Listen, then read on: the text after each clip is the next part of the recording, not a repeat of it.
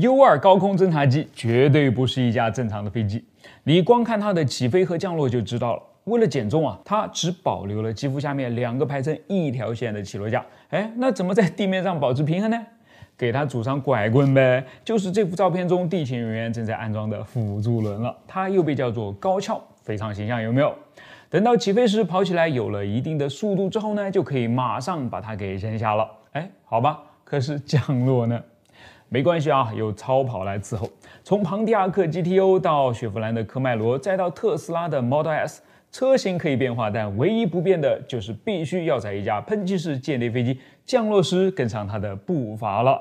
为此，用其中一名机动官的话说，就是你必须要驾驶这辆车在转弯的同时从零加速到一百六，才能在 U2 的尾巴后面做好准备。哎，听上去呢，这是一份相当刺激的工作啊，哎，也是相当责任重大的工作，因为它几乎起到了 U2 飞行员眼睛的作用。跟在离地只有三米不到的 U2 后面，这辆肌肉车呢，需要不断的告诉飞行员它还有多少高度。它的机翼是否水平？它是否与跑道对齐？等等，一直要等到 U2 彻底停稳，这辆保姆车的工作呢才算结束。哎，可以说啊，从起飞到降落，U2 做起来都很不容易吧？而且还是在条件良好的陆地跑道上哦。所以你肯定认为把 U2 搬到海面上，让它从既不宽敞又没有超跑在身后的航母甲板上起降，一定是件不可能完成的事吧？但实际上啊，在什么疯狂的事情都可能会发生的冷战时期呢？U2 已经不止一次的从航母上起降过了。所以，他为什么要把自己逼到从这里起降？是怎么实现起降的？以及为什么现在又不这么玩了呢？今天咱们就来好好聊聊。先说原因啊，U2 最初的航程呢，大约是在四千八百公里左右。虽然覆盖的面积已经不算小了，但是在面对遥远的苏联时，仍然是够不过去的。于是他就必须要在海外找到一些靠谱的盟友，在这里呢建一座机场，把 U2 放得更近一些。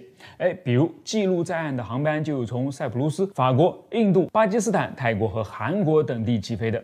但 U2 的运营方美国中情局心里面清楚的很呐，哎，把所有的牌都压在合作伙伴的手里面呢，是很危险的。有些人翻起脸来比翻书还快，这在战略上是有缺陷的。所以早在1957年，仅仅在 U2 为他们服役了几年后，就开始寻找替代方案了。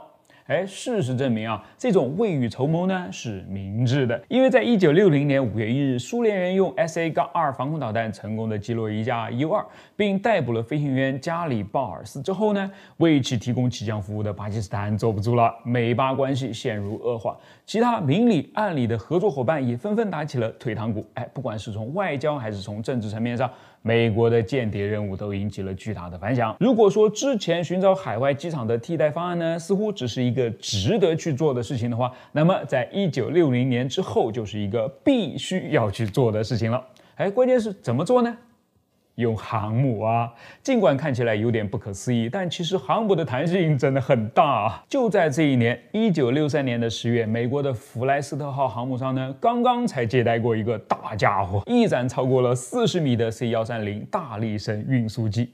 哎，既然它都能上舰，还有什么不能上的呢？所以早在几个月前呢，中情局就秘密联系了洛克希德的传奇工程师凯利·约翰逊，询问这位设计了 P 三八闪电、SR 七黑鸟以及这架 U 二。小龙夫人的臭油工厂灵魂人物，觉得有没有可能把它从陆地上搬到航母上呢？约翰逊想了想，嗯，回答说：虽然这架飞机的确操作起来难度很大，但是只要稍加改造，也不是不可能啊。哎，吃了这颗定心丸的中情局决定大干一场，一个代号为“白金”的秘密计划也就紧锣密鼓的上马了。计划分为两个部分：飞机改造和任务掩盖。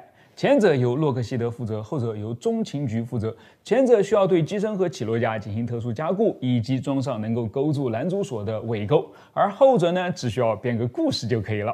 哎，他们从 NASA 那边找到了灵感，虚构了一个叫做海军研究办公室的机构，名义上是合作搞科研，但背地里搞的都是些情报。哎，这种故事啊多了去了，咱们还是重点放到洛克希德那边。他们为航母任务改装的 U2 呢，被称为 U2G。第一个改变，首先是增加了更强更重的起落架，以承受着舰式的冲击力，并将刹车距离啊缩减到了原来的一半。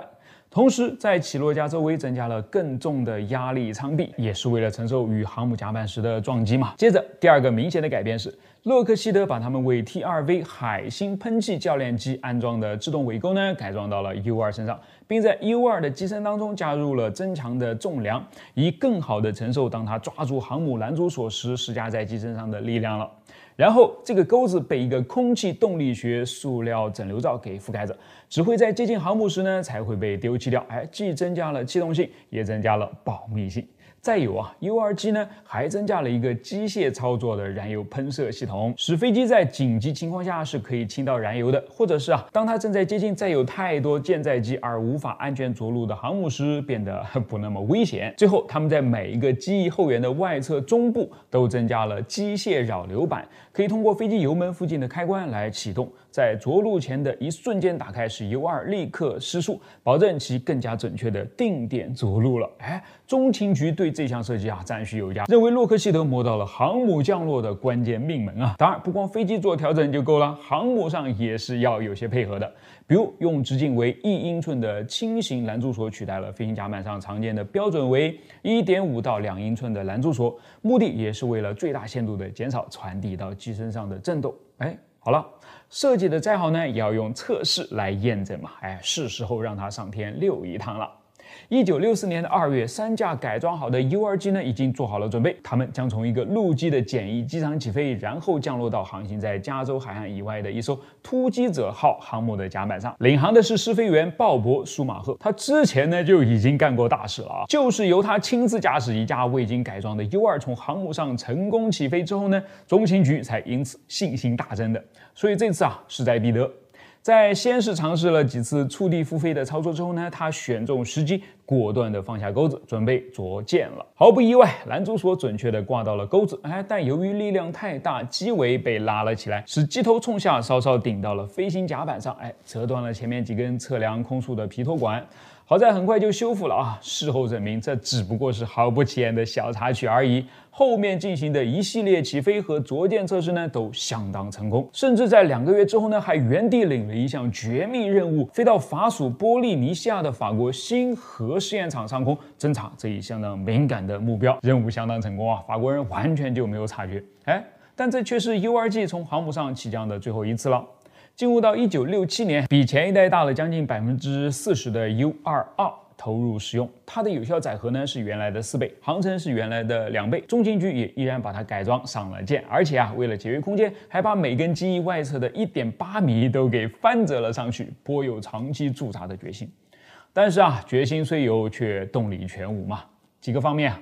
一是部署航母实在太贵了，二是成群结队的航母群本身呢并不隐蔽，哎，你用它来执行间谍任务不是掩耳盗铃吗？三是都有卫星了，站得更高，看得更远，还完全不怕挨枪子儿，用它不是更香吗？所以中情局便放弃海上的 U2 了。哎，尽管海军一开始想要接盘啊，认为它是一个不错的海上情报平台呀，还改装了一架装着各种各样的吊舱出来，哎，但最后也觉得有点鸡肋，就不了了之了，留下现在只能拄着拐杖起飞的 U 二了，否则他可能还能享受到人手扶着起飞的待遇呢。